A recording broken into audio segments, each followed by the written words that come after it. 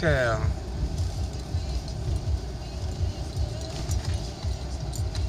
Gotta check on that driver, man. See if he's alright.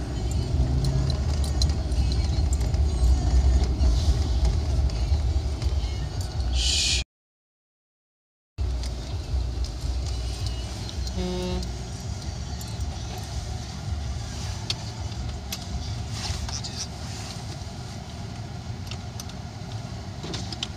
Window won't go down.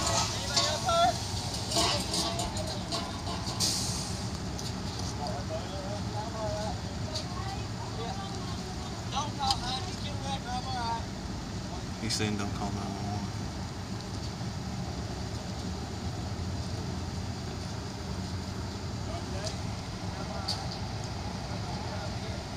Holy cow, man. Ah, didn't get that on film, but that was nuts.